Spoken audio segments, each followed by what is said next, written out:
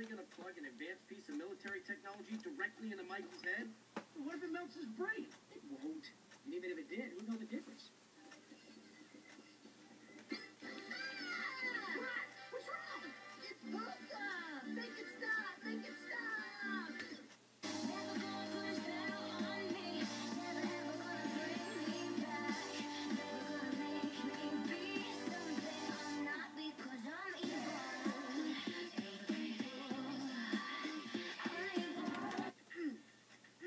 Thank you.